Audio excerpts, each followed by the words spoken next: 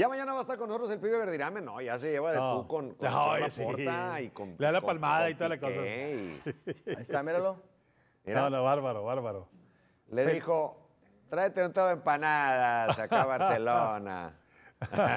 Oye, todavía recuerdo cuando surgió eso de que invitaron al, al pibe, y lo va a platicar seguramente mañana pasado, cuando lo platicó así fuera del aire, oye, me acaban de decir esto y esto, y dice él, platica, yo dije, ¿es cámara escondida o qué? O Sí, sea, no sí. la creía, y mira a dónde, a dónde llegó. No, fíjate la, la visión. Es que esto va dirigido a un público muy específico, pero muy amplio. Sí. O sea, al mismo tiempo. O sea, mucha gente, la de los chavos y chavas que son gamers, que les gusta todo este tema y que hoy se suma el, el fútbol real a estas plataformas. Así que enhorabuena para Sergio. Ya mañana estará de vuelta por un ratito en Pasión Futbolera porque renovó contrato para un torneo más con Oh, los qué aniquiladores. Su buena actuación allá le permite. No, ¿Te acuerdas al principio que decimos, oye, está en riesgo, está en riesgo? Sí, no, no era de los equipos favoritos ni de casualidad. Primeros dos partidos los pierde. Ni de casualidad. Sí. Y, y lo fue Felicidades, pibe. Felicidades Le metió mano, le metió mano y- Ayer corrió más Sergio en la banda, sí, salió con la rodilla de este tamaño,